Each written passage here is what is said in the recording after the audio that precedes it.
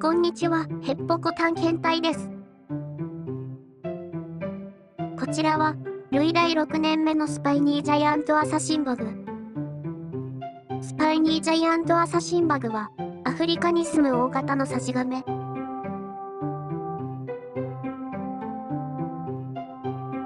ペット用のサシガメには、白モンサシガメ、ベニモンサシガメ、ドウモンサシガメ、そしてスパイニージャイアントアサシンバグがいます。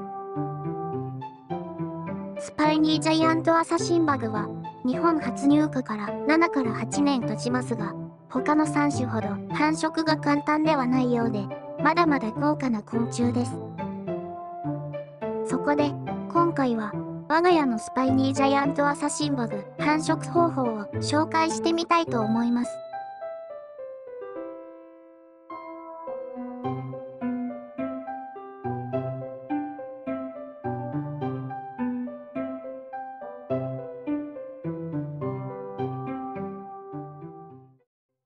産卵床作りに必要な材料。まずは園芸用のゼオライト。ゼオライトは産卵床の劣化を抑え、ダニなどアサシンバグの卵を食べる虫の防虫にも役立ちます。ハスクチップ。ペットメーカーから出ているハスクチップは高価なので園芸用がおすすめです。ハスクチップは保湿と通気を良くするために必要です。園芸用の赤玉土を細かくしたもの。赤玉土を表面に入れたことで産卵数が多くなった気がしました。